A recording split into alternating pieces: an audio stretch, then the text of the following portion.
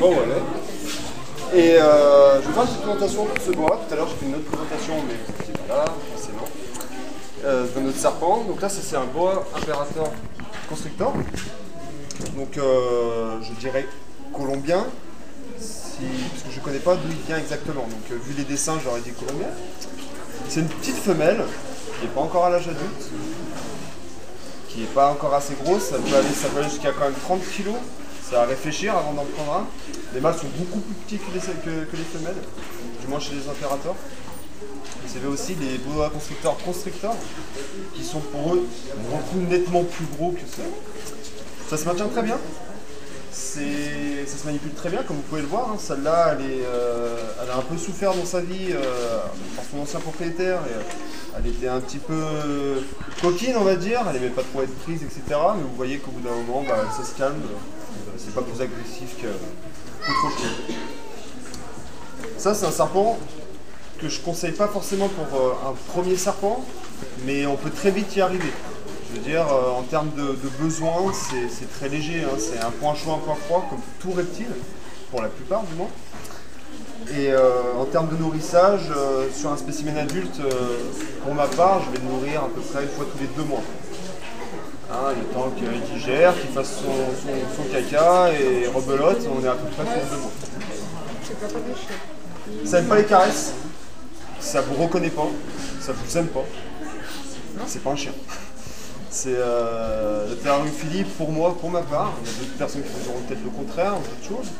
Mais euh, ça, ne fait pas circuler d'émotions. C'est binaire, c'est un, c'est un reptilien, c'est bête et méchant. Non, c'est pas bête et méchant, dis ça Pourquoi je dis ça C'est gentil, ça se défend. Il n'y a pas de serpent agressif, il n'y a que des mauvaises euh, appréciations de notre part. Je dirais qu'une fois qu'on a éteint l'interrupteur nourri- nourrissage, on peut en faire ce qu'on veut. L'interrupteur nourrissage, ça passe par le conditionnement positif, j'appelle ça. Reptiline en fait très bien la pub. Je suis adepte à 100% parce que ça fonctionne avec des animaux qui sont très stressés ou très euh, connus comme- étant agrafeuses, on appelle ça. euh, et ça marche très bien. C'est pas plus dangereux qu'un chat, qu'un chien. La morsure, ça n'a pas de venin, c'est constrictor, hein, comme je le disais. Ça va étouffer ses proies, même quand c'est congelé. Hein, donc quoi c'est pas fut-fut. Hein. Mais euh, et voilà. Après, bah, vous avez plusieurs coloris, il y a de la génétique qui est faite là-dessus, ce qui va faire varier le prix. Il y en a qui sont euh, fluorescents, euh, etc. etc. Enfin, je n'importe quoi, mais euh, il y en a qui font la génétique dessus. Moi, je suis pas pour, mais vous pouvez apprécier, il n'y a aucun problème pour moi. C'est ce qui va faire le prix, la rareté, etc. Et on va arriver à des serpents qui vont coûter 2-3 000 euros pour serpent. Un bois impérator comme ça, c'est 50 euros juvénile. C'est pas plus cher qu'un Panthérophis gutapus.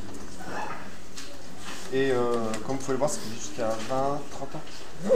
Donc euh, c'est à réfléchir quand même. Sur le bon coin, euh, on en trouve tout le temps. hein. Des serpents, euh, ouais, ça c'est cool et tout, genre un serpent, c'est pas un jouet quoi, c'est sa vie. Ils sont conscients de leur captivité quand même. Il y a une étude qui a été faite là-dessus. Ils ont juste des petits besoins qu'on peut leur fournir facilement grâce à des tapis chauffants, des lumières. Pour ce qui est celui-là, ça vit la nuit, c'est crépusculaire. Donc la journée, si ça bouge pas, on peut aller le chatouiller parce que c'est c'est comme si vous, vous êtes en train de dormir, je vous réveille pour rejouer, euh, vous avez commencé à faire la gueule. Ben, c'est un peu le même principe. Mince Gueule Gueule Oh Donc voilà, pour ce qui est de ce, ce serpent. Euh, en termes d'entretien, je dirais qu'un terrarium 120 à 120 cm, ça peut suffire. Après, si vous lui donnez plus de, possibilités, branchage, euh, cachette, c'est toujours un plus pour eux. Dans leur milieu naturel, ils vont dans les arbres, chasser des oiseaux dans les arbres. Il faut pouvoir varier leur alimentation aussi, pas donner que des rats ou que des souris, ces choses-là. Les poussins, c'est bien aussi. Les oiseaux, c'est un peu plus dur à attraper. hein. Mais euh, voilà, c'est pas vegan. Ça mange que des rats et euh, enfin que de la viande. Quoi. Donc euh, non, je dis ça parce qu'il y en a, euh, on peut pas leur donner de la salade. euh. On va faire un peu la. Voilà pour ce qui est du bois impérator. Euh, après, en termes de, de, maladie, si je peux dire, c'est assez limité. Euh, il y a beaucoup de, problèmes de parasites sur ces espèces-là. Enfin, pas des problèmes, mais euh, si vous avez quelque chose de sain chez vous, il n'y aura pas de problème. C'est ça que je veux dire. Si vous avez beaucoup de bestioles, si vous avez beaucoup de, va-et-vient d'animaux qui ont potentiellement euh, des, parasites, vous avez de grandes chances d'avoir des parasites sur vos, animaux. Et il y a ma femme tout à l'heure qui a fait un, PowerPoint sur les soins et les maladies. Bon, vous n'avez pas suivi, c'est pas grave, mais en gros, qui disait que enlever les parasites sur un serpent, ça peut être très long et très compliqué. Ça les fait mourir.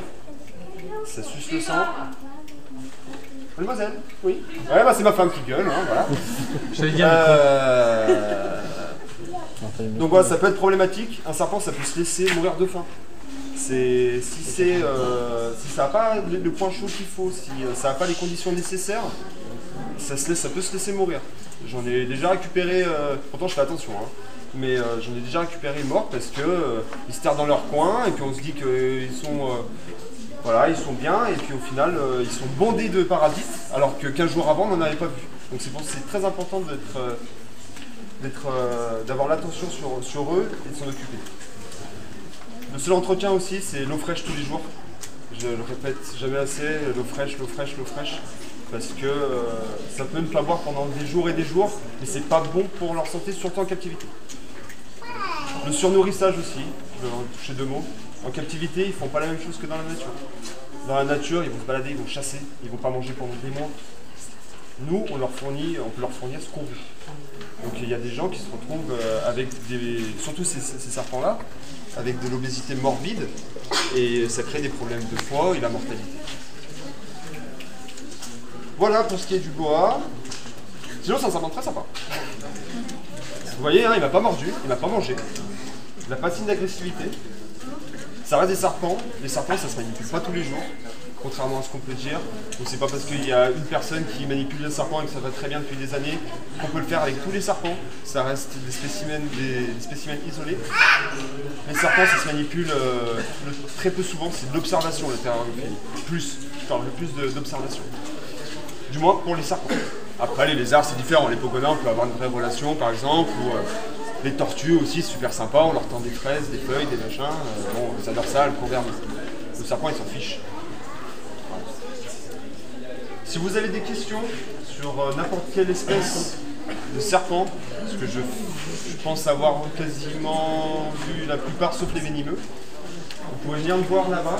Aussi pour les soins vétérinaires, des questions euh, d'ordre vétérinaire, vous pouvez aussi nous voir là-bas avec ma femme et on sera content de vous accueillir et de vous répondre, répondre à vos questions. Dans quelques instants, il y aura. Oui. On peut le toucher Alors, ce qu'il y a, c'est qu'elle, elle est un petit peu taquine. C'est pas la mienne. Donc, euh, pour raison de sécurité, je vais, devoir dire non. Euh, ça serait la mienne, je vous la ferai, je la ferai toucher si je la connais. Mais c'est pas à moi et je peux pas me permettre. C'est pas gluant. Non, mais j'en avais un fois. Vous en avez eu Bon, vous voyez, hein, c'est pas. Par contre, c'est très costaud. Ouais. Voilà, j'espère que ça vous a plu, la petite présentation. Si ça peut vous décider d'en acheter un, pas de soucis. Bonne journée